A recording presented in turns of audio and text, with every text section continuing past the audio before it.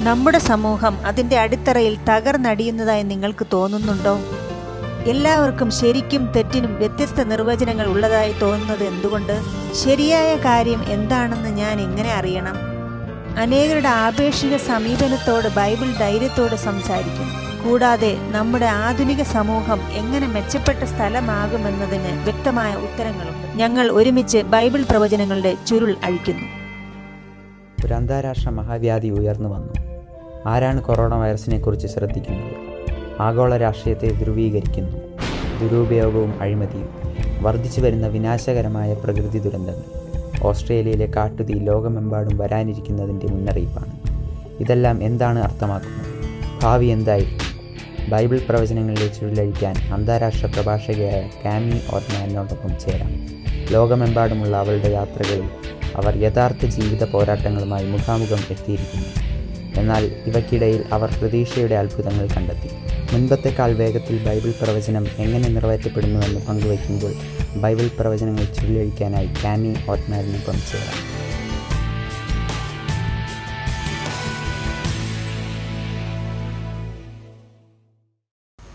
Hi ഞാൻ കാമി Bible പ്രവചനങ്ങളുടെ ചുരുളഴിക്കാം എന്ന പരമ്പരയിലേക്ക് വീണ്ടും സ്വാഗതം. തുടർച്ചയായ ഈ പരമ്പര ബൈബിളിലെ ഏറ്റവും വലിയ പ്രവചനങ്ങളുടെ കണ്ടെത്തലിലേക്ക് നിങ്ങളെ നയിക്കും. നേരത്തെ സംപ്രേക്ഷണം ചെയ്ത പ്രോഗ്രാമുകൾ കാണാനും കൂടുതൽ പഠനത്തിനുമായി നിങ്ങൾക്ക് A W R dot org hash Bible എന്ന ലിങ്കിലേക്ക് പോകാം. ഞങ്ങളുടെ ഓൺലൈൻ ബൈബിൾ സ്കൂളിലേക്ക് ബന്ധപ്പെടുവാൻ ചുവടെയുള്ള ലിങ്കിൽ ക്ലിക്ക് ചെയ്യുക. അവിടെ നിങ്ങൾക്ക് ഒരു ചോദ്യം ചോദിക്കാം. അല്ലെങ്കിൽ നിങ്ങളുടെ പ്രത്യേക ആവശ്യങ്ങൾക്കായി ഒരു പ്രാർത്ഥന അഭ്യർത്ഥന അയക്കാം. കൂടാതെ നിങ്ങളുമായി ചാറ്റ് ചെയ്യാൻ ആഗ്രഹിക്കുന്നു. അതിനുവേണ്ടി ഒരു കമന്റ് ഇടുക. അല്ലെങ്കിൽ ഒരു ചോദ്യം ചോദിക്കുക. ഞങ്ങളുടെ മുമ്പത്തെ പ്രസംഗമായ മുന്നറിയിപ്പിൽ ലോക ചരിത്രത്തിന്റെ അവസാന നിമിഷങ്ങളിലാണ് നാം ജീവിക്കുന്നതെന്ന് മനസ്സിലാക്കുന്നത് അതിശയകരമാണ്. ദൈവം നമ്മെ വളരെയധികം സ്നേഹിക്കുന്നു. തന്റെ ജനത്തെ അവരുടെ ശാശ്വതമായ വിധിയെ ബാധിക്കുന്ന പ്രധാന ലോക സംഭവങ്ങൾക്കായി ഒരുക്കാൻ അവൻ എപ്പോഴും ഒരു മുന്നറിയിപ്പ് അയക്കുന്നു യേശുവിന്റെ മടങ്ങിവരവിനായി ആളുകൾ തയ്യാറാകണമെന്ന് ദൈവം ആഹ്വാനം ചെയ്യുന്നുവെന്നത് ദൈവം എത്രത്തോളം എന്നതിന്റെ ശക്തമായ ഓർമ്മപ്പെടുത്തലാണ്. നമ്മിൽ ഓരോരുത്തരുമായും വ്യക്തിബന്ധം ദൈവം ആഗ്രഹിക്കുന്നു. ഈ പ്രവചന പരമ്പരയുടെ എല്ലാ പ്രസംഗങ്ങളും കാണണമെന്ന് ഞാൻ പ്രതീക്ഷിക്കുന്നു. ഇന്നത്തെ പ്രസംഗം വഴി പലരെയും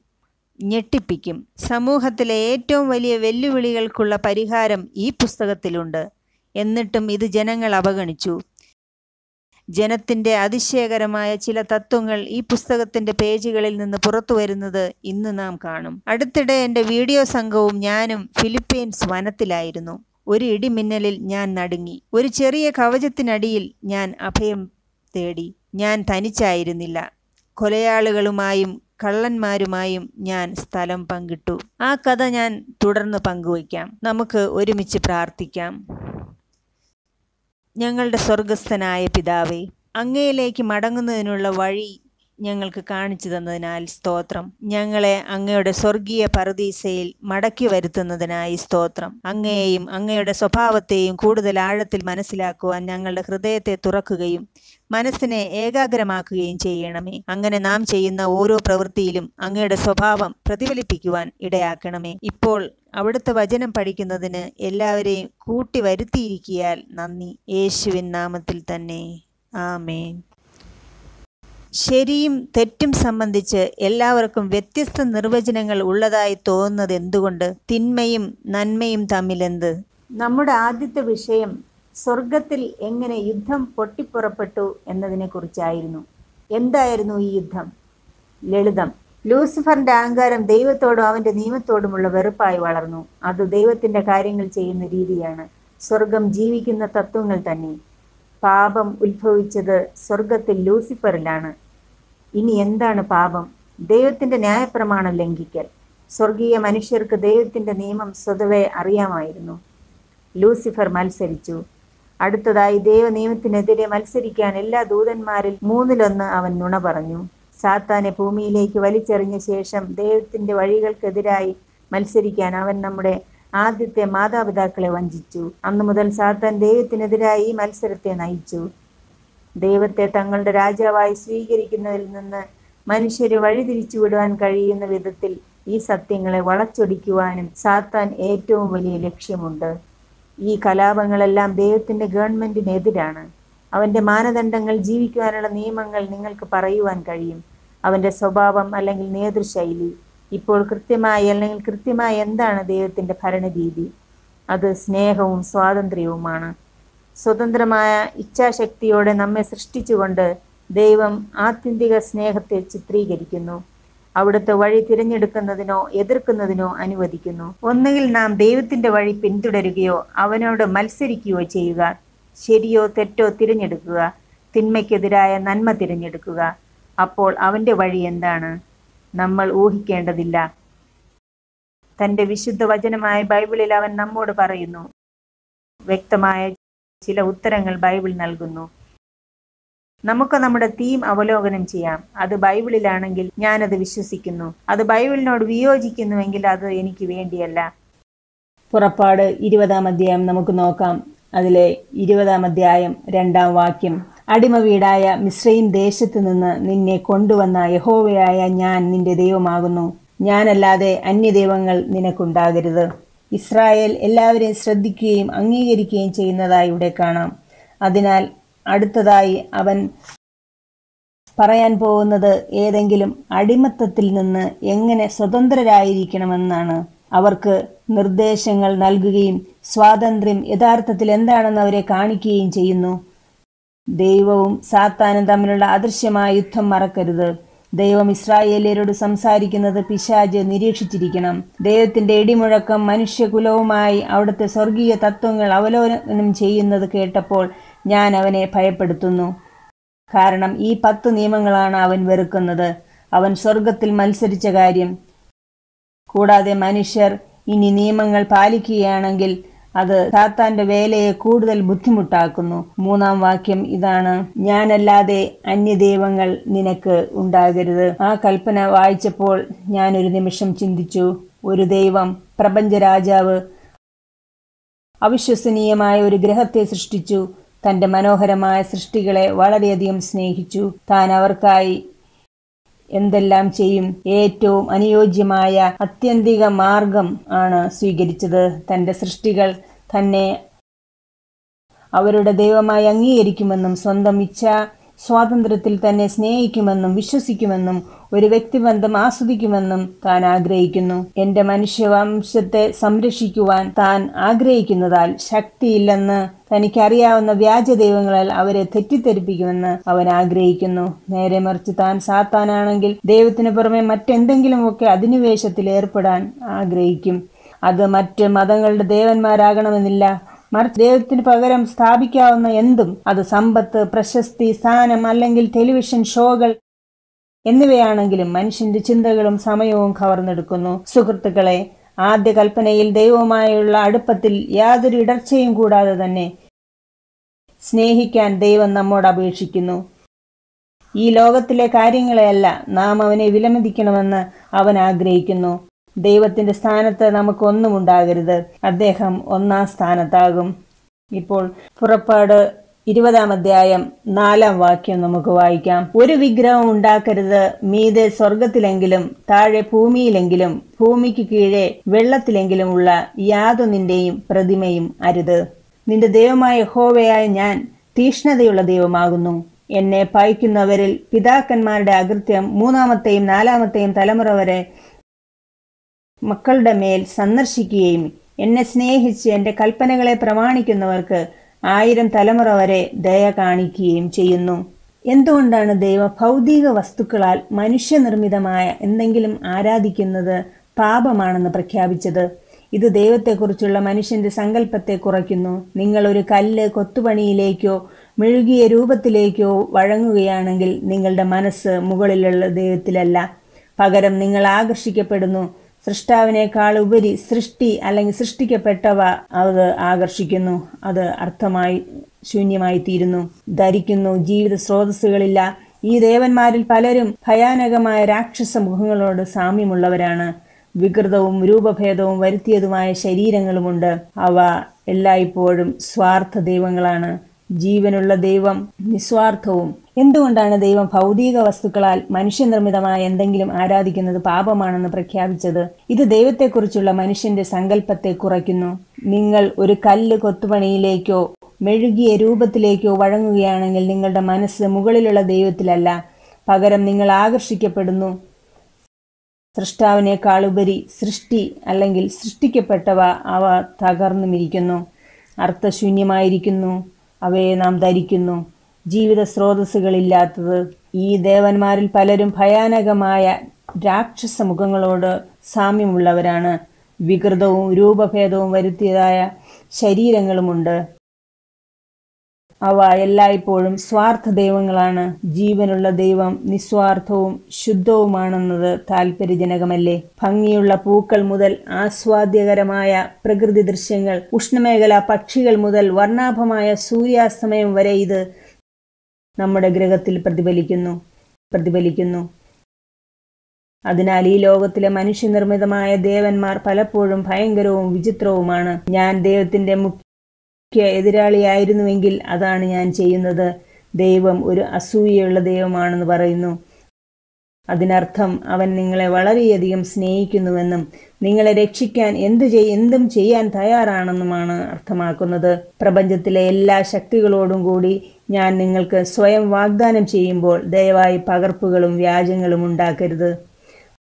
ദൈവം ജീവനുള്ള ദൈവമാണ്. അതേസമയം ഈ വ്യാജങ്ങളെല്ലാം തകരുകയോ മരിക്കുകയോ ചെയ്യുന്നു. അല്ലെങ്കിൽ അവരുടെ ശവക്കുഴികളിൽ അടക്കം ചെയ്യപ്പെടുന്നു. തങ്ങളെ തന്നെയോ മറ്റാരെയെങ്കിലുമോ ഉയർത്തെഴുന്നേൽപ്പിക്കാൻ ഒരു ശക്തിക്കും സാധിക്കുകയില്ല. ആരാധനയിലൂടെ ഞങ്ങൾ നമ്മുടെ കൂറ് കാണിക്കുന്നു. അതിനാൽ ആയവരെ എങ്ങനെ ആരാധിക്കണമെന്ന കാര്യത്തിൽ ചിത്രങ്ങളിലൂടെ എന്റെ അടുക്കൽ വരാൻ ശ്രമിക്കരുത്. കാരണം അത് പാടില്ല.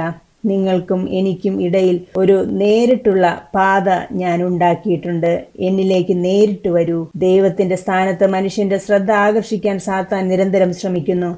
ബിഷപ്പുമാരിലേക്കും പാസ്റ്റർമാരിലേക്കും ദൈവശാസ്ത്ര പ്രൊഫസർമാരിലേക്ക് നോക്കാൻ അവൻ ആളുകളെ നയിക്കുന്നു. അവരുടെ വഴികാട്ടികൾ എന്ന നിലയിൽ തങ്ങൾക്ക് വേണ്ടി അവരുടെ കടമ പഠിക്കാൻ തിരുവെഴുത്തുകൾ തിരയുന്നതിന് പകരം അപ്പോൾ ഈ നേതാക്കന്മാരുടെ മനസ്സിനെ നിയന്ത്രിക്കുന്നതിലൂടെ പിശാജിന് അവന്റെ ഇഷ്ടത്തിനനുസരിച്ച് ജനക്കൂട്ടത്തെ സ്വാധീനിക്കാൻ കഴിയും. പ്രവചനം ആവർത്തിച്ച് കാണിക്കുന്നത് ഇതാണ്. സംഭവിക്കുന്നത് എന്താണ്? ഈ കൽപ്പനയിൽ ദൈവം മാതാപിതാക്കളെ ശ്രദ്ധിക്കുന്നു. അപ്പോൾ ഈ നേതാക്കളുടെ മനസ്സിനെ നിയന്ത്രിക്കുന്നതിലൂടെ പിശാജിന് അവന്റെ ഇഷ്ടത്തിനനുസരിച്ച് ജനക്കൂട്ടത്തെ സ്വാധീനിക്കാൻ കഴിയും. ഒരു രക്ഷകർത്താവ് എന്ന നിലയിൽ നിങ്ങൾ നിങ്ങളുടെ ജീവിതത്തിൽ തെറ്റ് തിരഞ്ഞെടുക്കുകയാണെങ്കിൽ അല്ലെങ്കിൽ ഈ ലോകത്തിലെ എന്തിനേയും ഒരു ദൈവമാക്കുകയാണെങ്കിൽ നിങ്ങളുടെ കുട്ടി ഇതിന് സാക്ഷ്യം വഹിക്കുകയും അതിൽ സ്വാധീനം ചെലുത്തുകയും ചെയ്യുന്നു. ദൈവം ഇവിടെ മുന്നറിയിപ്പ് നൽകുന്നു. നിങ്ങളുടെ കുട്ടികൾ നിങ്ങളുടെ കാൽനടയായി പിന്തുടരാൻ സാധ്യതയുണ്ട്. അതിനാൽ നിങ്ങളുടെ ദൈവം ആരാണെന്ന് ശ്രദ്ധിക്കുക. നിങ്ങളുടെ ജീവിതത്തിലുടനീളം എന്നോടൊപ്പമുള്ള നിങ്ങളുടെ സമയം നിങ്ങൾ കുറച്ചാൽ അത് അവരുടെ പ്രവണതയായി തീരും. അതിനാൽ നിങ്ങൾ എത്രമാത്രം എന്നെ സ്വാധീനിക്കുന്നോ അത്രമാത്രം നിങ്ങളുടെ കൊച്ചുമക്കൾ എന്നെയും അറിയും. ദൈവം ഈ കൽപ്പന അവസാനിപ്പിക്കുന്നത് എങ്ങനെയെന്ന് ഞാൻ കാണിക്കുന്നു. ആയിരക്കണക്കിന് ആളുകളോട് കരുണ കാണിക്കുന്നു. എന്നെ സ്നേഹിക്കുകയും അവന്റെ കൽപ്പനകൾ പാലിക്കുകയും ചെയ്യുന്നു. ഏഴാം വാക്യത്തിൽ ഇപ്രകാരം പറയുന്നു നിന്റെ ദൈവമായ യഹോവയുടെ നാമം വൃത എടുക്കരുത്. തന്റെ നാമം വൃത എടുക്കുന്നവനെ യഹോവ ശിക്ഷിക്കാതെ വിടുകയില്ല. അതെ ദൈവത്തിന്റെ നാമത്തെ ബഹുമാനിക്കുക എന്നതാണ് ദൈവത്തിന്റെ അഭ്യർത്ഥന. അവനോടുള്ള നമ്മുടെ വിശ്വസ്തയുടെ അടയാളം എന്ന നിലയിൽ നമ്മുടെ സൃഷ്ടാവ് നമ്മുടെ ബഹുമാനത്തിന് അർഹനാണ്. ഈ കൽപ്പന തെറ്റായ ശബ്ദങ്ങളും സാധാരണ ശബ്ദങ്ങളും നിരോധിക്കുക മാത്രമല്ല ദൈവത്തിന്റെ നിയമം ലഘുവായോ അശ്രദ്ധമായോ ഉപയോഗിക്കുവാൻ നമ്മെ വിലക്കുന്നു. പ്രപഞ്ചത്തിലെ അപരിഷ്കൃതമായ ഓരോ സൃഷ്ടിക്കും ദൈവം ബഹുമാനത്തിന് അർഹനാണെന്ന് അറിയാം. വീണുപോയവർ മാത്രമാണ് അശ്ലീലവും ശബദവും ശരിയാണെന്ന് കരുതുന്നത്. നിർത്തുക ചിന്തിക്കുക. ദൈവമേ എന്റെ നാമത്തെ ബഹുമാനിക്കുക എന്ന് പറയുന്നതുകൊണ്ട് അതിനാൽ ഞാൻ ദൈവത്തിനെതിരായ മത്സരത്തിന് നേതൃത്വം നൽകിയെങ്കിൽ ഞാൻ ആഗ്രഹിക്കുന്നു അവനെ ശപിക്കുവാൻ ആളുകളെ പ്രേരിപ്പിക്കുക. അറിയുന്നത് പോലെ അത് അവൻ വല്ലാതെ വേദനിക്കുന്നു. അതിനാൽ സുഹൃത്തുക്കളെ നമ്മുടെ വാക്കുകളാൽ നാം ദൈവത്തെ ഉയർത്തുമ്പോൾ അത് അവനെ പ്രസാദിപ്പിക്കും. അതാണ് ഞാൻ ചെയ്യുന്നതെന്ന് എനിക്കറിയാം. പുറപ്പാട് ഇരുപതാം അധ്യായം എട്ടാം വാക്യം ഇപ്രകാരം പറയുന്നു ശബത്ത് നാളിനെ ശുദ്ധീകരിപ്പാൻ ഓർക്ക.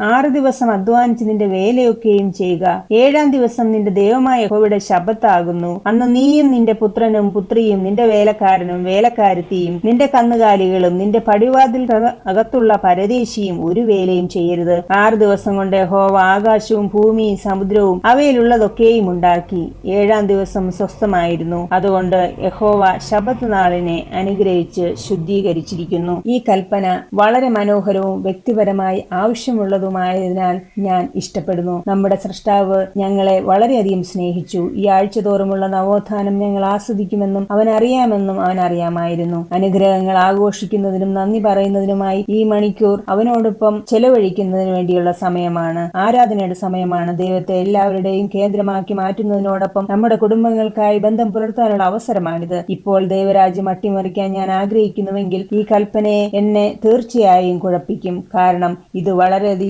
സൂചന നൽകുന്നു. മനുഷ്യരുമായുള്ള സമയവും അവരുമായുള്ള വ്യക്തിബന്ധവും ദൈവം ആഗ്രഹിക്കുന്നു. അതിനാൽ ദൈവം ഓർമ്മിപ്പിക്കാൻ പറഞ്ഞ ഒരേ ഒരു കൽപ്പന തലമുറകൾ മറന്ന് ഉറപ്പാക്കാൻ ഞാൻ എന്റെ കഴിവിന്റെ പരമാവധി ചെയ്യും.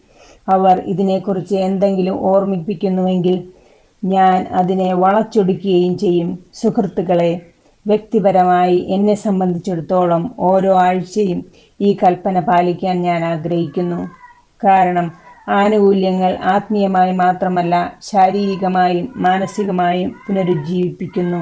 പന്ത്രണ്ടാം വാക്യം. നിന്റെ ദൈവമായ ഹോവ നിനക്ക് തരുന്ന ദേശത്ത് നിനക്ക് ദീർഘായുസ് ഉണ്ടാകുവാൻ നിന്റെ അപ്പനെയും അമ്മയെയും ബഹുമാനിക്ക നമ്മുടെ ഭൗമിക മാതാപിതാക്കളെയും സ്വർഗസ്ഥനായ നമ്മുടെ പിതാവിനെയും മാനിക്കുകയും ബഹുമാനിക്കുകയും വേണം. ദൈവത്തിന്റെ സ്വഭാവത്തിൽ നിന്ന് നമുക്ക് പാഠങ്ങൾ പഠിക്കുവാനുണ്ട്. ഇവിടെ ഞാനൊരു കഥ പറയാൻ ആഗ്രഹിക്കുന്നു. ഇന്ത്യയിലെ ഗ്രാമത്തിൽ നിന്ന് ഒരു പശുവിനെ ഒരാൾ വാങ്ങി അയൽ ഗ്രാമത്തിലെ വീട്ടിലേക്ക് കൊണ്ടുപോയി. ആദ്യ രാത്രിയിൽ തന്നെ ഗ്രാമത്തിലെ നായ്ക്കൾ ഇടയ്ക്കിടയ്ക്ക് കുരയ്ക്കുവാൻ തുടങ്ങി. അവർ ഒരു നിരീക്ഷണ ക്യാമറ അവിടെ വച്ചു. അതിലൂടെയുള്ള കാഴ്ചകൾ അവരെ അമ്പരിപ്പിച്ചു. ഒരു പുള്ളിപ്പുലിയുടെ ദൃശ്യം അതിൽ ഉണ്ടായിരുന്നു. ഈ പുള്ളിപ്പുലി എങ്ങനെയാണ് പശുവിന്റെ അടുത്ത് വന്നതെന്ന് അവർക്ക് അതിശയമായി. ഉടനെ ഈ പശുവിനെ കൊടുത്ത ആളിന്റെ അടുത്തേക്ക് ആൾക്കാർ പോയി. അവിടെ ചെന്ന് കഥ മുഴുവൻ കേട്ടപ്പോഴാണ് മനസ്സിലാകുന്നത്. ഈ പുള്ളിപ്പുലിക്ക് ഇരുപത് ദിവസം പ്രായമുള്ളപ്പോൾ അവന്റെ അമ്മയെ അവന് നഷ്ടമായി. അങ്ങനെ അവിടുത്തെ ആൾക്കാരെല്ലാവരും പറഞ്ഞു ഈ പുള്ളിപ്പുലിയെ നമുക്ക് പശുവിന് വളർത്താൻ കൊടുക്കാം. പശു പാൽ കൊടുത്ത് വളർത്തട്ടെ എന്ന് പറഞ്ഞു. അങ്ങനെ പശു പാൽ കൊടുത്ത് ഈ പുള്ളിപ്പുലിയെ വളർത്തുകയും അങ്ങനെ അവരുടെ ബന്ധം തുടങ്ങുകയും ചെയ്തു. എന്നാൽ വളർന്ന് പ്രായമായപ്പോൾ ഈ പുള്ളിപ്പുലി കാട്ടിലേക്ക് മടങ്ങുകയും എന്നാൽ എല്ലാ രാത്രിയിലും ഈ പുള്ളിപ്പുലി ഈ പശുവിനെ കാണുവാൻ വരികയും പതിവായിരുന്നു. അവൻ ഈ ഗ്രാമത്തിൽ നിന്ന് മാറിയെങ്കിലും വേറെ ഗ്രാമത്തിൽ പോയെങ്കിലും ആ പശുവിനെ കാണാൻ വീണ്ടും ഈ പുള്ളിപ്പുലി വന്നു. അതാണ് ഇവിടെ സംഭവിച്ചത്. ഒരു അയൽവക്കത്തും അത് നഗരത്തിലും ഏത് രാജ്യത്തിലും എനിക്ക് യാതൊരു ആശങ്കയും ഇല്ലാതെ എന്റെ ഡോക്യുമെന്ററി എടുക്കാൻ പോകാം. അത്ഭുതങ്ങൾ രേഖപ്പെടുത്താൻ ഞാൻ യാത്ര ചെയ്യുമ്പോൾ എനിക്ക് പലതവണ അംഗരക്ഷകരോ സൈനിക അകമ്പടിയോ ആവശ്യമായി വരാറുണ്ട്. അടുത്തിടെ എന്റെ വീഡിയോ സംഘം ഫിലിപ്പൈൻസിലെ കാട്ടിലായിരുന്നു. ഞാൻ നേരത്തെ പറഞ്ഞതുപോലെ ഒരു ഇടിമിന്നലിൽ ഞാൻ ഒരു കുടിലിന്റെ അടിയിൽ അഭയം തേടി. ആ കുടിലിനടിയിൽ ഞാൻ അഭയം തേടി അവിടെ ആയിരിക്കുമ്പോൾ ഞാൻ അവിടെ തനിച്ചായിരുന്നില്ല. എന്റെ അടുത്ത് എന്റെ രണ്ട് വീഡിയോഗ്രാഫർമാർ ഇരുപതോളം വരുന്ന ഒരു കുടുംബം മുഴുവനും കൂടാതെ കോഴികൾ നായ്ക്കൾ പൂച്ചകൾ ആടുകൾ പിന്നെ കുറേ പന്നികളും ഉണ്ടായിരുന്നു. ഞങ്ങൾ അങ്ങനെ ഇരുന്നപ്പോൾ ആ കുടുംബത്തിലെ സ്ത്രീ എന്നോട് പറഞ്ഞു അവളുടെ പേര് ജാസ്ലിൻ എന്നായിരുന്നു. അവളുടെ കഥ ഞങ്ങളുമായി പങ്കുവച്ചു. ഒരു വെടിവയ്പിൽ എപ്രകാരമാണ് തന്റെ കുടുംബത്തിന്റെ സമാധാനം തകർന്നതെന്ന് അവൾ വിവരിച്ചു. ഉടനെ അവളുടെ ഭർത്താവ് അന്ന് ആയുധമെടുത്തു. അവൻ യുദ്ധത്തോട് ഒട്ടും അപരിചിതനായിരുന്നില്ല. കാരണം അവനൊരു ഗുറില്ല പോരാളിയായിരുന്നു. അവന്റെ പേര് അന്റോണിയ എന്നായിരുന്നു. അന്റോണിയയും ജസ്ലിനും അങ്ങനെ ഒരുപാട് യുദ്ധങ്ങൾ കണ്ടിട്ടുണ്ട്. വെടിയുണ്ടകൾ തുരുതിരെ വന്നപ്പോൾ അവർക്ക് രക്ഷപ്പെടാൻ ഒരു മാർഗവുമില്ലെന്ന് അവർക്ക് മനസ്സിലായി. അന്റോണിയോ മുൻവാതിലിലൂടെ പുറത്തേക്ക് ഓടി. ജസ്ലിൻ കുട്ടികളെ പിടിച്ച് പിൻവാതിലിന് പുറത്തേക്ക് രക്ഷപ്പെട്ടു. അവിടെ ഒരു രഹസ്യ ഒളിത്താവളത്തെക്കുറിച്ച് അവർക്കറിയാമായിരുന്നു.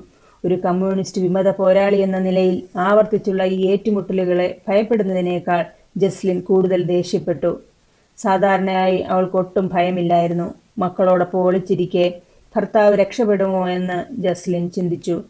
ഒരു നിത്യതയാണെന്ന് തോന്നുന്ന കാര്യത്തിനായി അവർ കാത്തിരുന്നു. പിന്നെ യുദ്ധത്തിന്റെ ശബ്ദങ്ങൾ ദൂരത്തായി കൂടിക്കൂടി വന്നു. ഒടുവിൽ എല്ലാം നിശബ്ദമായി തീർന്നു. അവർ നാട്ടിൽ തിരിച്ചെത്തിയപ്പോൾ അന്റോണിയോയുടെ മൃതദേഹം സർക്കാർ സൈനികൾ കൊണ്ടുപോകുന്നത് അവർ കണ്ടു. അന്ന് ജസ്ലിന് ഭർത്താവിനെ നഷ്ടപ്പെട്ടു. മക്കൾക്ക് പിതാവിനെ നഷ്ടപ്പെട്ടു. അന്റോണിയോയുടെ ശരീരം ഒരിക്കലും വീണ്ടെടുക്കുവാനായില്ല. ഈ അനുഭവം ജസ്ലിനെ കൂടുതൽ കൂടുതൽ കഠിന ഹൃദയമുള്ളവളാക്കി അവൾ ഫിലിപ്പൈൻസ് സൈനികരെ അങ്ങേയറ്റം വെറുത്തു. പിതാവിന്റെ മരണത്തിന് പ്രതികാരം ചെയ്യാൻ കഴിയുന്ന ഏറ്റവും മികച്ച പോരാളിയായി മക്കളെ വളർത്താൻ അവൾ അവിടെ വെച്ച് തന്നെ തീരുമാനമെടുത്തു. ഇത് സംഭവിക്കുമ്പോൾ മൂത്ത കുട്ടിക്ക് പത്തു വയസ്സ് മാത്രമേ പ്രായമുണ്ടായിരുന്നുള്ളൂ. പതിമൂന്ന് വയസ്സ് തികയുമ്പോഴേക്കും അവൻ ഗറില്ലകളിൽ ചേർന്നിരുന്നു. ജസ്ലിൻ അവനെക്കുറിച്ച് അഭിമാനിച്ചിരുന്നു. ശബ്ദമുണ്ടാക്കാതെ കാട്ടിലൂടെ എങ്ങനെ കടന്നു കയറാമെന്നും ഭക്ഷണത്തിനായി എങ്ങനെ പോകാമെന്നും എങ്ങനെ എങ്ങനെ ഒരു സൂക്ഷ്മ പോരാളിയാകാമെന്നും അവൾ ഇളയ കുട്ടികളെ പഠിപ്പിച്ചു. അവരുടെ ഇളം ഹൃദയങ്ങളും കഠിനമാക്കി. എന്നാൽ ഒരു ദിവസം ജസ്ലിൻ തന്റെ ചെറിയ എഫ് എം റേഡിയോയുടെ ഡയൽ അഡ്വന്റിസ്റ്റ് വേൾഡ് റേഡിയോ എന്ന അപരിചിതമായ സ്റ്റേഷനിലേക്ക് മാറ്റി. നിയമം ഒരു കണ്ണാടിയാണ്.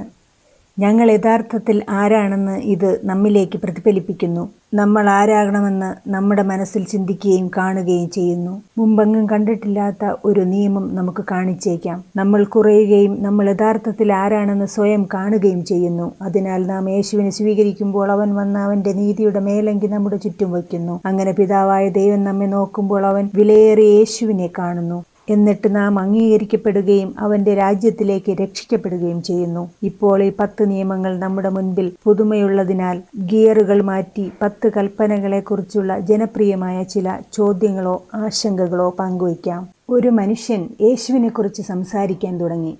ഈ യേശു ദയുള്ളവനായിരുന്നു സാമ്പത്തിക സ്ഥിതി കണക്കിലെടുക്കാതെ അദ്ദേഹം ആളുകളെ സ്നേഹിച്ചു. അവൻ സർവശക്തനായിരുന്നു രോഗികളെ സുഖപ്പെടുത്താനും മരിച്ചവരെ ഉയർപ്പിക്കാനും അവന് കഴിഞ്ഞു. ജസ്ലിൻ ആകൃഷ്ടയായി. അവൾ ദിവസവും ട്യൂൺ ചെയ്യാൻ തുടങ്ങി. അവളെ സ്നേഹിക്കുകയും പരിചരണം ക്ഷമയും വാഗ്ദാനം ചെയ്യുകയും ചെയ്ത ഒരു ദൈവത്തെക്കുറിച്ച് കേട്ടപ്പോൾ അവളുടെ ഹൃദയം ഉരുകാൻ തുടങ്ങി. ഒരു പുതിയ തരം ജീവിതം അനുഭവിക്കാനുള്ള ആഗ്രഹം അവളുടെ ഹൃദയത്തിൽ വളരാൻ തുടങ്ങി. തന്റെ ജീവിതം ഈ യേശുവിന്റെ അടുത്തേക്ക് തിരിച്ചുവിടുവാനും ആയുധങ്ങൾ താഴെയിടാനും അവളുടെ ഏറ്റവും മോശമായ ശത്രുക്കൾ പോലും ക്ഷമ എന്ന സങ്കല്പത്തിൽ മനസ്സിനെ ചുറ്റിപ്പിടിക്കാൻ അവൾ തീരുമാനിച്ചു.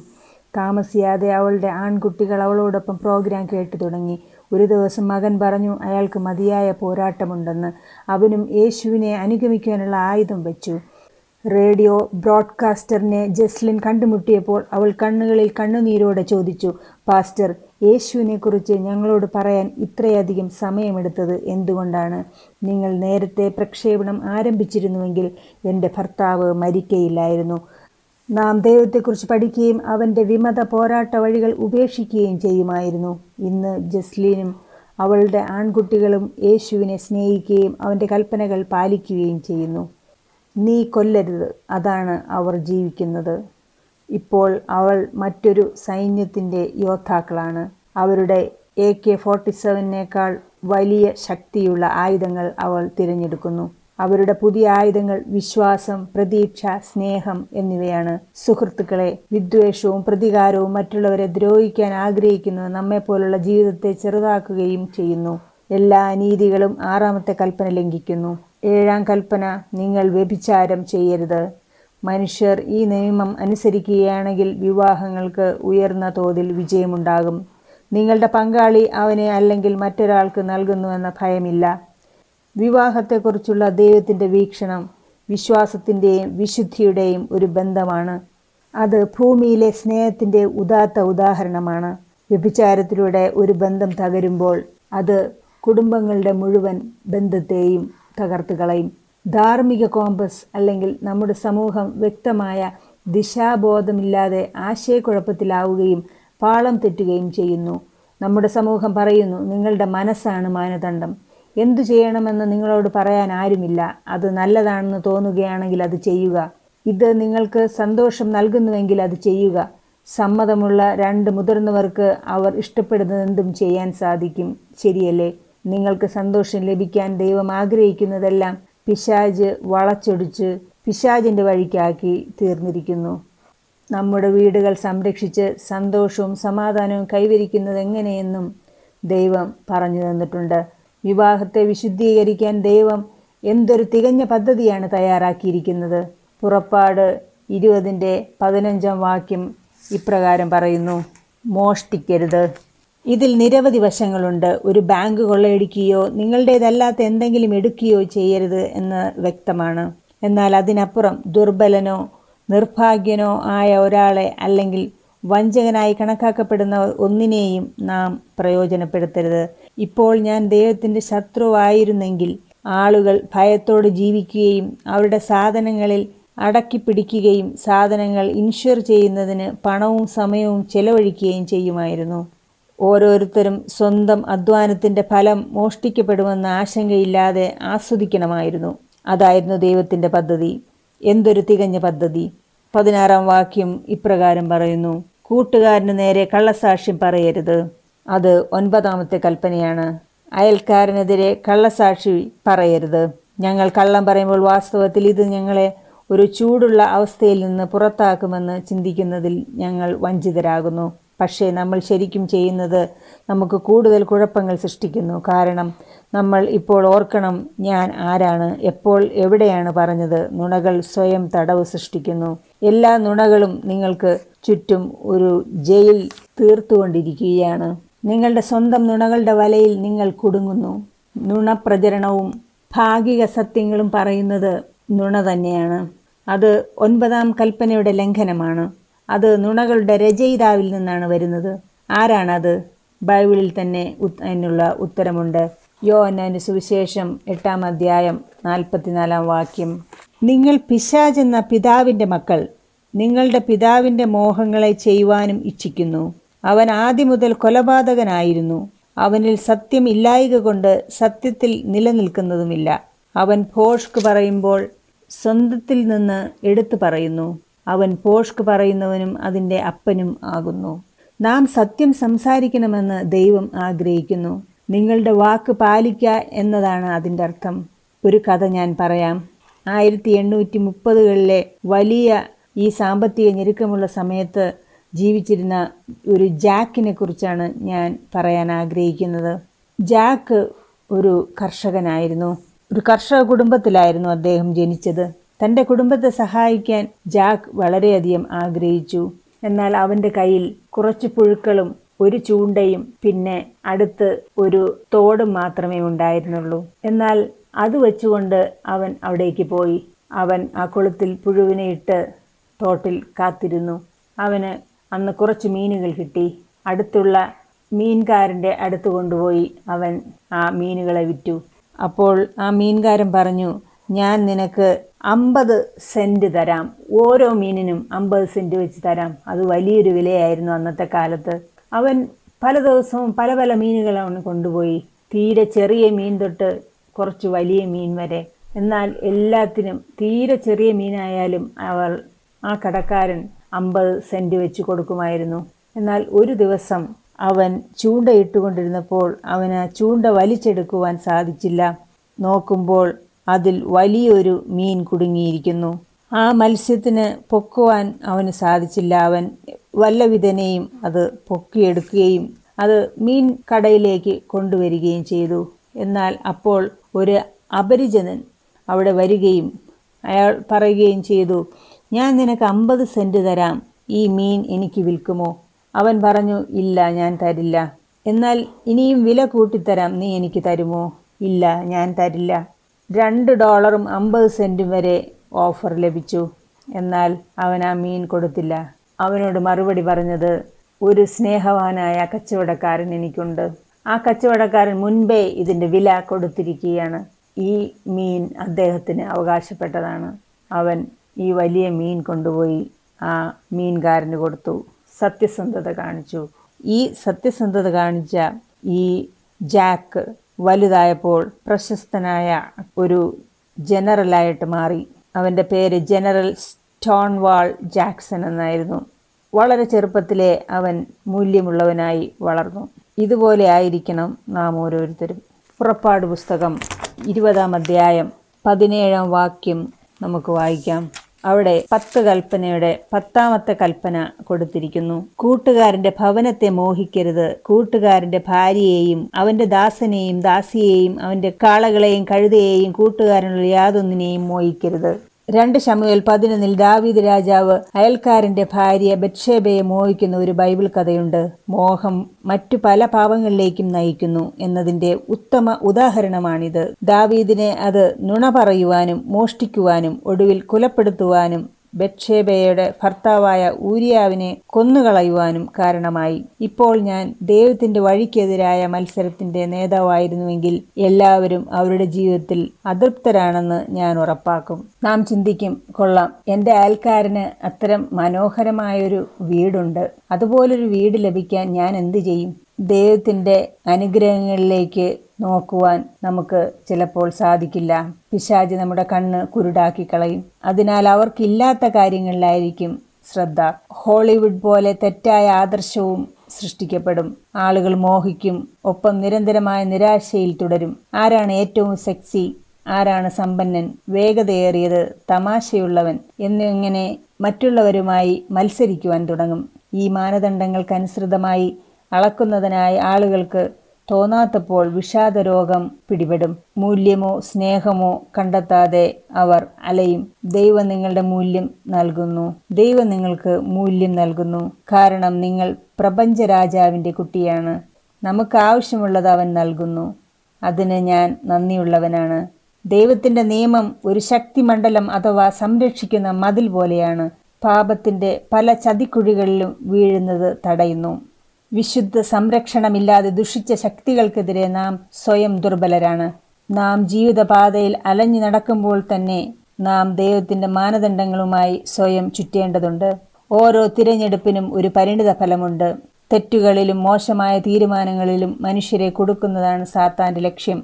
ആത്മീയമായും മാനസികമായും വൈകാരികമായും ശാരീരികമായും ആളുകളെ മനഃപൂർവം നശിപ്പിക്കുവാനും ദുർബലപ്പെടുത്തുവാനും അദ്ദേഹം പദ്ധതിയിടുന്നു. അതേസമയം പുരുഷനും സ്ത്രീയും സന്തുഷ്ടരായി സമാധാനത്തോടെ ജീവിക്കണമെന്ന് ദൈവത്തിന്റെ ആഗ്രഹം. ദൈവത്തിന്റെ നിയമങ്ങൾ അനുസരിക്കുന്നത് കാര്യങ്ങൾ കഠിനമായി പഠിക്കുന്നതിൽ നിന്ന് നമ്മെ രക്ഷിക്കും. എന്നാൽ അവ സ്വയം ദൈവമായ ഒരു വ്യക്തിപരമായ അനുഭവം നൽകില്ല. വാസ്തവത്തിൽ ദൈവമായ യഥാർത്ഥ ബന്ധം പുലർത്താത്ത നിയമങ്ങളുടെ പട്ടിക ഒരു ദയനീയമായ അനുഭവമായിരിക്കും. യുവദമ്പതികൾ വിവാഹിതരായി മനോഹരമായ ഒരു ചടങ്ങും മധുവിധവും ആഘോഷിച്ചു. ആദ്യ പ്രഭാതത്തിൽ ഭാര്യ ഭർത്താക്കന്മാർ ഒന്നിച്ച് വരൻ തന്റെ വധുവിന് ഒരു കടലാസ് കഷണം നൽകുന്നു. എല്ലാ ദിവസവും നീ ചെയ്യേണ്ടുന്ന കാര്യങ്ങളുടെ പട്ടിക തയ്യാറാക്കിയിട്ടുണ്ട്. അദ്ദേഹം പറയുന്നു ഇത് നമ്മുടെ ദാമ്പത്യം സുഗമമാക്കും. എല്ലാ ദിവസവും രാവിലെ അഞ്ചു മണിക്ക് എഴുന്നേൽക്കണം. എനിക്ക് പ്രഭാത ഭക്ഷണം വേണം. എന്റെ ഷർട്ടും പാന്റും ഇസ്തിരിയിടണം ദൈർഘ്യമേറിയ പട്ടിക വായിച്ചതിന് ശേഷം അദ്ദേഹം അത് അടുക്കളയുടെ മതിലിൽ ഒട്ടിച്ചു വെച്ചു. വധുവിന്റെ കണ്ണുകൾ വലുതായി. അദ്ദേഹം തുടർന്നു കുട്ടികളുണ്ടായാൽ ഞാൻ ഒരു പുതിയ പട്ടിക തയ്യാറാക്കും. അപ്പോൾ നീ കൂടുതൽ കാര്യങ്ങൾ ചെയ്യേണ്ടി വരും. ഒടുവിൽ പ്രതീക്ഷിച്ചതുപോലെ അവരുടെ വിവാഹം വിവാഹമോചനത്തിൽ അവസാനിച്ചു. ഏതാനും വർഷങ്ങൾക്ക് ശേഷം ഇതേ സ്ത്രീ ദയാലുവായ ഒരു മാന്യനായ പുരുഷനുമായി പ്രണയത്തിലായി. അവർ വിവാഹിതരായി. അത് ഒരു സ്വപ്ന ജീവിതമായിരുന്നു ഇരുവരും വായുവിൽ പൊങ്ങിക്കിടക്കുന്നത് പോലെയാണ് അവർക്ക് തോന്നിയത്.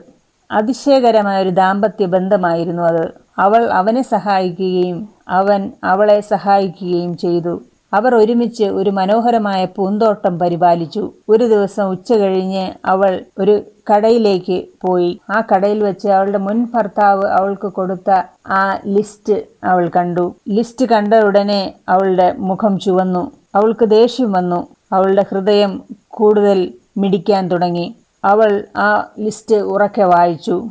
നേരത്തെ എഴുന്നേൽക്കുക അവൾ ചിന്തിച്ചു. ഞാൻ ഇപ്പോഴും അത് ചെയ്യുന്നു. പ്രഭാത ഭക്ഷണം ഉണ്ടാക്കുക അവൾ ചിന്തിച്ചു. ഞാനിപ്പോഴും അത് ചെയ്യുന്നു. എന്റെ വസ്ത്രം ഇസ്തിരിയിടുക അതും ഞാൻ ഇപ്പോഴും ചെയ്യുന്നു. എന്നാൽ ഇപ്പോൾ അവൾ നന്ദിയുള്ള ഒരു ഭർത്താവുമായി സ്നേഹപൂർവമായ ദാമ്പത്യബന്ധം പുലർത്തുകയും അവളുടെ സ്നേഹത്തിന്റെ പ്രകടനങ്ങളിൽ നിന്ന് അവൾ അവനുവേണ്ടി ഈ ചിന്താപരമായ കാര്യങ്ങൾ ചെയ്യാൻ തീരുമാനിക്കുകയും ചെയ്തു. നാം അനുസരിക്കാൻ കാരണം നാം ദൈവത്തിന്റെ പ്രീതി നേടാൻ ശ്രമിക്കുന്നതിനാലല്ല അവനോടുള്ള നമ്മുടെ സ്നേഹത്തിന്റെ പ്രതികരണമാണ്. എന്റെ രക്ഷ നേടാൻ ഞാൻ ദൈവത്തെ അനുസരിക്കുന്നില്ല ഞാൻ ദൈവത്തെ അനുസരിക്കുന്നു. രക്ഷപ്പെടാനല്ല ഞാൻ രക്ഷിക്കപ്പെട്ടതിനാലാണ്. എല്ലായ്പ്പോഴും എന്ന പോലെ ഉത്തരം നൽകാൻ ബൈബിളിനെ അനുവദിക്കുക. ബൈബിളിന്റെ പത്ത് കൽപ്പനകൾ മാറ്റാൻ കഴിയുമോ? ലൂക്കോസ് പതിനാറിന്റെ പതിനേഴ് വായിക്കാം. ന്യായപ്രമാണത്തിൽ ഒരു പുള്ളി വീണ് പോകുന്നതിനേക്കാൾ ആകാശവും ഭൂമിയും ഒഴിഞ്ഞു പോകുന്നത് എളുപ്പം. അവന്റെ കൈകളുടെ പ്രവൃത്തികൾ സത്യവും ന്യായവും ആകുന്നു. അവന്റെ പ്രമാണങ്ങൾ എല്ലാം വിശ്വാസ്യം തന്നെ. അവന്റെ കൽപ്പനകളെല്ലാം ഉറപ്പാണ്. അവ എന്നേക്കും ഉറച്ചു നിൽക്കുന്നു. നമുക്ക് മലാഖി മൂന്നിന്റെ ആറ് വായിക്കാം. യഹോവയായ ഞാൻ മാറാത്തവൻ. അതുകൊണ്ട് യാക്കോബിന്റെ പുത്രന്മാരെ നിങ്ങൾ മുടിഞ്ഞു പോകാതിരിക്കുന്നു. ഞാൻ കർത്താവാണ്. ഞാൻ മാറുന്നില്ല. ഒരു കാരണവശാലും ദൈവത്തിന്റെ പത്ത് കൽപ്പന മാറുകയില്ല. ബൈബിളിൽ മൂന്ന് പ്രാവശ്യം ഭൗമിക രാജാക്കന്മാരായ ഹെരോദാവും അഹശ്വരോഷും ദാര്യാവേശും നിയമങ്ങൾ മാറ്റാൻ ശ്രമിച്ചു. പക്ഷേ കഴിഞ്ഞില്ല. ദുർബലരായ രാജാക്കന്മാരുടെ നിയമങ്ങളിൽ മാറ്റമില്ലെങ്കിൽ എങ്ങനെ ദൈവത്തിന്റെ വിരൽ കൊണ്ട് കല്ലിൽ എഴുതിയ ദൈവത്തിന്റെ നിത്യനിയമത്തിൽ മാറ്റം വരുത്തുവാൻ ആർക്കെങ്കിലും കഴിയുമോ? അതിനെക്കുറിച്ച് ചിന്തിക്കാൻ സാധിക്കുമോ? ദൈവത്തെ തന്നെ മാറ്റുന്നതിനേക്കാൾ ദൈവത്തിന്റെ നിയമം മാറ്റാൻ ഇനി കഴിയുകയില്ല. ബൈബിൾ അനുസരിച്ച് എന്താണ് പാപം? ഒന്ന് യോഹന്നാൻ മൂന്നിന്റെ നാലിൽ ഇപ്രകാരം പറയുന്നു. കൽപ്പനാലംഘനം പാപം. പാപം ചെയ്യുന്നവൻ എല്ലാം അധർമ്മം ചെയ്യുന്നു. പാപം അധർമ്മം തന്നെ.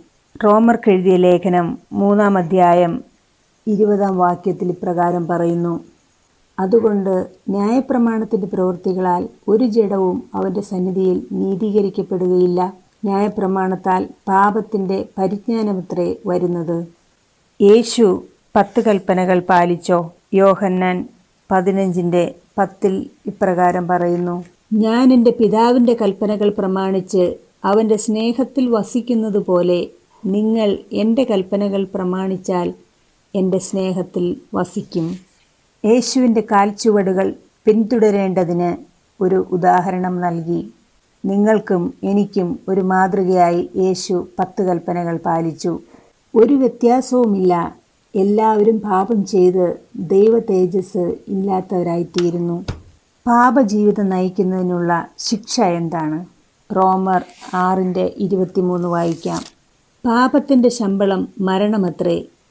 ദൈവത്തിന്റെ കൃപാവരമോ നമ്മുടെ കർത്താവായ യേശു ക്രിസ്തുവിൽ നിത്യജീവൻ തന്നെ. എല്ലാവരും പാപം ചെയ്ത് ദൈവത്തിന്റെ മഹത്വത്തിൽ കുറവ് വരുത്തിയിരിക്കുന്നു. പാപജീവിതം നയിക്കുന്നതിനുള്ള ശിക്ഷ എന്താണ്? യേശു പാപത്തിന്റെ ശിക്ഷ നൽകുകയും മരിക്കുകയും ചെയ്തു എന്നത് നിയമം മാറ്റാൻ ആവശ്യമില്ല എന്നുള്ളതിന്റെ തെളിവാണ്. പത്ത് കൽപ്പനകൾ പഴയ നിയമമാണെന്നും അവ ബാധകമല്ലെന്നും ചിലർ പറയുന്നു. പുതിയ നിയമത്തിലെ ക്രിസ്ത്യാനികൾ ഇതിനെക്കുറിച്ച് എന്താണ് പറയുന്നത്? യോഹന്നാൻ പതിനാലിന്റെ പതിനഞ്ച് വായിക്കാം. നിങ്ങൾ എന്നെ സ്നേഹിക്കുന്നുവെങ്കിൽ എന്റെ കൽപ്പനകളെ കാത്തുകൊള്ളും. ഇതിന്റെ വിപരീതവും ശരിയാണ്. നിങ്ങൾ എന്നെ സ്നേഹിക്കുന്നില്ലെങ്കിൽ എന്റെ കൽപ്പനകൾ പാലിക്കരുത്. വെളിപ്പാട് ഇരുപത്തിരണ്ടിന്റെ പതിനാലിൽ ഇപ്രകാരം പറയുന്നു.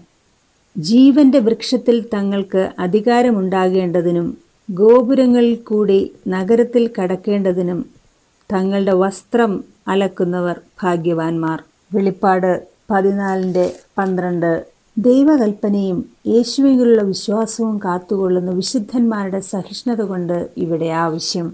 സുഹൃത്തുക്കളെ ദൈവത്തിന്റെ ആളുകൾ അവന്റെ എല്ലാ കൽപ്പനകളും പാലിക്കണമെന്ന് പുതിയ നിയമം വ്യക്തമായി പഠിപ്പിക്കുന്നു. ലോകം ഇന്ന് വലിയ കുഴപ്പത്തിലാണെന്ന് നമുക്കറിയാം. കാരണം ദൈവത്തിന്റെ നിയമം അനുസരിക്കേണ്ടത് പ്രധാനമാണെന്ന് അനേകർക്ക് തോന്നുന്നില്ല. കർത്താവെ നിങ്ങൾ പ്രവർത്തിക്കേണ്ട സമയമാണിത് എന്ന് ബൈബിൾ പറയുന്നു. കാരണം അവർ നിങ്ങളുടെ നിയമം അസാധുവായി കണക്കാക്കിയിരിക്കുന്നു. സങ്കീർത്തനങ്ങൾ നൂറ്റി പത്തൊമ്പതിന്റെ നൂറ്റി ഇരുപത്തിയാറ് വായിക്കാം. നിന്റെ വചനം എന്റെ കാലിന് ദീപവും എന്റെ പാതയ്ക്ക് പ്രകാശവുമാകുന്നു. ഫിലിപ്പിയർ നാലിന്റെ പതിമൂന്നിൽ ഇപ്രകാരം കാണുന്നു. എന്നെ ശക്തനാക്കുന്നവൻ മുഖാന്തരം ഞാൻ സകലത്തിനും മതിയാകുന്നു. ഞാൻ ഇസ്രായേൽ ഗ്രഹത്തോട് ചെയ്യുവാനിരിക്കുന്ന നിയമം ഇങ്ങനെയാകുന്നു ഞാൻ എന്റെ ന്യായപ്രമാണം അവരുടെ ഉള്ളിലാക്കി അവരുടെ ഹൃദയങ്ങളിൽ എഴുതും. ഞാൻ അവർക്ക് ദൈവമായും അവർ എനിക്ക് ജനമായും ഇരിക്കും. എന്റെ നിയമങ്ങൾ അവരുടെ മനസ്സിലേക്ക് അവരുടെ ഹൃദയത്തിൽ എഴുതുക. ഒരു വ്യക്തിയുടെ മുഴുവൻ സ്വഭാവവും മാറി അതിനാൽ ദൈവഹിതം ചെയ്യുന്നത് സന്തോഷകരമാണെന്ന് അദ്ദേഹം കണ്ടെത്തുന്നു. അവന്റെ കൽപ്പനകൾ പാലിക്കാതെ എനിക്ക് ഒരു യഥാർത്ഥ ക്രിസ്ത്യാനിയാകാൻ കഴിയുമോ? ഒന്ന് യോഹന്നാൻ രണ്ടാം അധ്യായം മൂന്നും നാലും വാക്യങ്ങൾ ഇപ്രകാരം പറയുന്നു. എങ്കിൽ നാം അവനെ അറിഞ്ഞിരിക്കുന്നു എന്ന് അതിനാൽ അറിയുന്നു. അവനെ അറിഞ്ഞിരിക്കുന്നുവെന്ന് പറയുകയും അവന്റെ കൽപ്പനകളെ പ്രമാണിക്കാതിരിക്കുകയും ചെയ്യുന്നവൻ കള്ളനാകുന്നു.